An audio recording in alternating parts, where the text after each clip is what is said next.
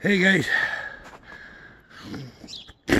just out in the grove doing the ritual peekaboo, letting the uh, taking just the tops off of the all the um, all of the ancestors and everything. Just make sure that uh, they get some spring light. Anyway, uh, so there's Father Sky, right there. Thank you, Father. There's the thunder stick, the moon staff. There's Mother Earth sitting down there. There's the direction of the south. And there's fire. There's earth. There's water. There's wood. And there's air. See? There's one of the four colors. The other one's up there. The other one's behind the chair there, see?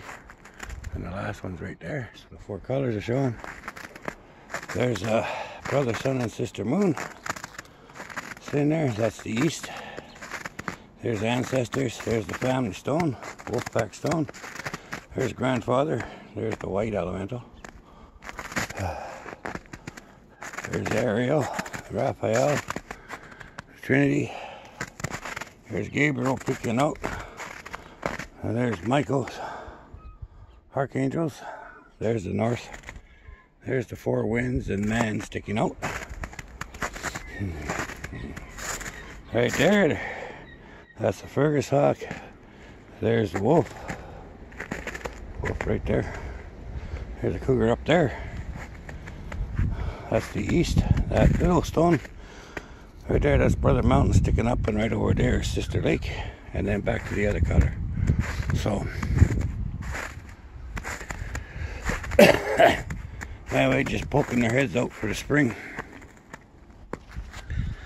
Lots and lots of work to do out here this year. Um, I want to get Mother Earth and Mother Earth, yeah, Mother Earth and Father Sky up on a bigger stilt.